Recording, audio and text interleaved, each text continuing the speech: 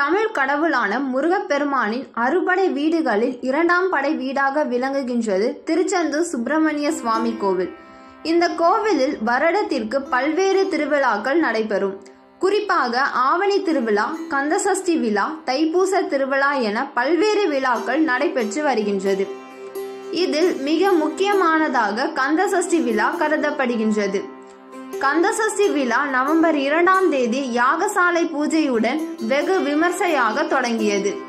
இதில் திரளான பக்தர்கள் கலந்து கொண்டு சுவாமி தரிசனம் செய்தனர். கந்தசஷ்டி விழாவின் சிகர நிகழ்ச்சியான சூரசம்ஹாரம் திருச்செந்தூர் கடற்கரையில் நவம்பர் ஏழாம் தேதி நடைபெறுகிறது. அன்றைய தினம் சூரசம்ஹாரம் நிகழ்வை காண லட்சக்கணக்கான பக்தர்கள் வருகை தருவார்கள் என்று எதிர்பார்க்கப்படுகின்றது. இந்த நிலையில் கந்தசஷ்டி விழாவின் மூன்றாவது நாளில் ஏராளமான பக்தர்கள் சுவாமி தரிசனம் செய்ய திருச்செந்தூர் வருகை புரிந்தனர்.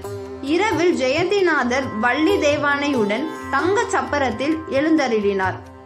அதனைத் தொடர்ந்து அவருக்கு தீபாரதனை காண்பிக்கப்பட்டது. இதனை ஆயிரக்கணக்கான பக்தர்கள் பக்தி பரவசத்துடன் கண்டு ரசித்தனர்.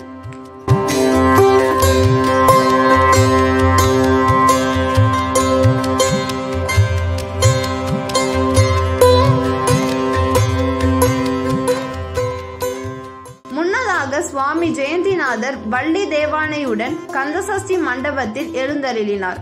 அங்கு சுவாமி ஜெயந்திநாதர் மற்றும் வள்ளி தெய்வானைக்கு மாப்பொடி திரேவியம் மஞ்சள் சந்தனம் பால் தயிர் இளநீர் தேன் உட்பட பதினாறு வகையான பொருட்களை கொண்டு சிறப்பு அபிஷேகம் நடந்தது. அதைத் தொடர்ந்து சிறப்பு தீபாரதனையும் நடந்தது. இதில் பல்லாயிரக்கணக்கான பக்தர்கள் கலந்து கொண்டு மனமுருகி சுவாமி தரிசனம் செய்தனர்.